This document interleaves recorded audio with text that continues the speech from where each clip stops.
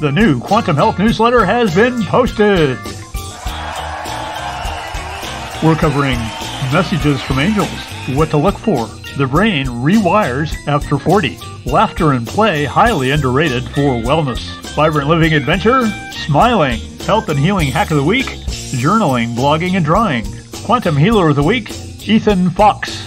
Company and product news, E1 and E2 are still on sale. And check out our new Water Alive formula. And amazing product alert, Key Energy AI. Gem Elixir for the month, Moldavite. Stone for spiritual growth. And the always inspiring This Quantum Life, the light of infinite goodness.